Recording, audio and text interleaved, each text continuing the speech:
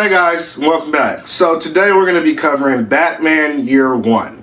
Now, honestly, this is something that I've been wanting to talk about since I first started my YouTube channel. But I've always kind of put it on the back burner just because I never knew the right words to say about it. But I do now, so let's just get into it.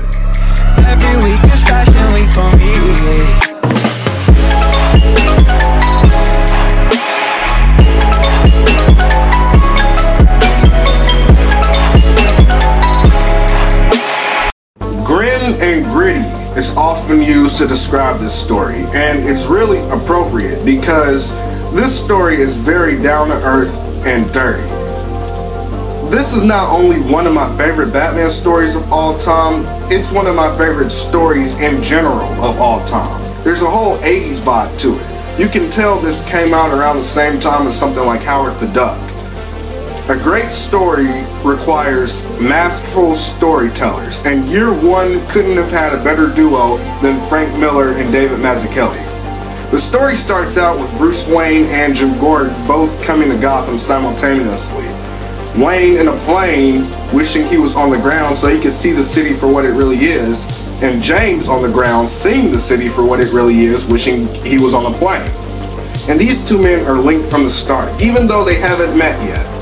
From the beginning, the corruption of Gotham and the desperate situations that many of its residents find themselves in is pretty obvious, and that's why the two men are there.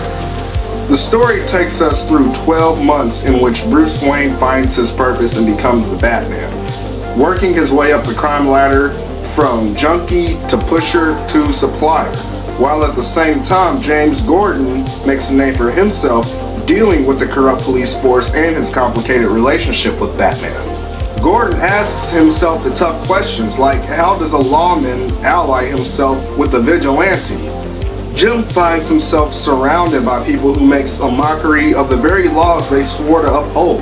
And because of his oppositions to that kind of thinking, he almost seems to be a vigilante as much as Batman is. And that's one thing I really like about this story. This is not just a Batman story. It's just as much about Commissioner Gordon, or Captain Gordon, I mean. And I liked him being Captain Gordon more so because he was up against the bad guys just as much as Batman was. But it's more so about him than it is Bruce Wayne. There's so much we get to learn about his character. Jim makes mistakes and even has an affair with his coworker. Year one really gave him feet of clay, and in doing so, they made him one of the most interesting characters in Batman mythos. This is just an amazing story from the writing to the artwork. You almost don't even need the words. The pages kind of speak for themselves. You can just hear what it would sound like. This is one of my favorite scenes right here, Bruce Wayne walking in the hood. Now, this is before he became the Bat but he's wearing a disguise walking down the street and you can just hear this panel. The nightclubs, the people that are out, music coming from the streets, the hookers and pimps out and about. Gotham City has a life of its own and it's just as much of an important character as anyone else in this book. It's not just buildings around. Gotham is gritty but delicate at the same time, and that's all thanks to Miller. You know, you look at his work like Daredevil or Sin City, and they all have that style, that noir style. Year one just has it in color. But the things that goes on in Frank Miller's head is something so violent, vibrant, real, hot, and awesome. And that is what Batman Year One is all about. Only Frank Miller could make something as simple as Batman under a staircase hiding from the GCPD have you on the edge of your seat. If you've never read a Batman story or you just haven't read this particular one, this is a really exciting one to start with. This four issue miniseries is the guide that every Batman Begins type story takes elements from. Even in this new movie that's supposed to be coming out next year, you can see the elements they borrow from the year one comics.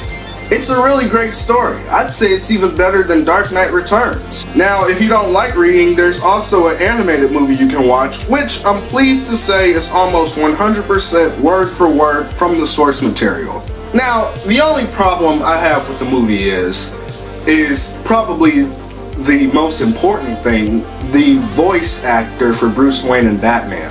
The guy they have voicing him is absolutely terrible. 100% horrendous.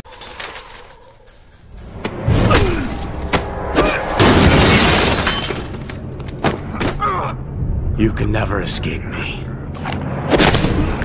Nothing harms me. But I know pain. I know pain. Sometimes I share it with someone like you. Absolutely terrible. They really should have gotten somebody better.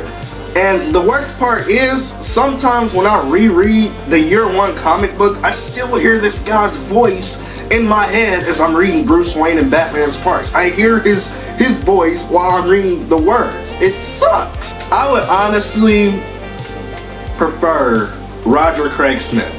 Roger Craig Smith was fantabulous as playing, you know, a young version of Bruce Wayne. His voice, and it kind of sounds close to what Kevin Conroy's voice would become in the future.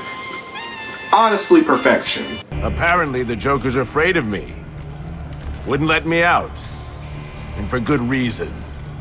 I don't like having my time wasted. You should have known trying to kill me was a waste of your time. well, you won't have to worry about that anymore.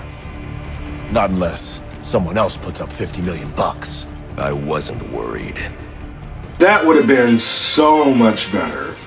But it is what it is. I mean, if you can overlook that, then yeah, it's a really good movie. But, you know, if you want to read this grim and gritty Batman story, I'll be sure to post a link in the description where you can read it right now for free. I hope you liked this video, guys. If you did like it, please give it a thumbs up. And if you're new here, please be sure to subscribe to my channel. Thank you so much for watching, guys, and I'll see you next time.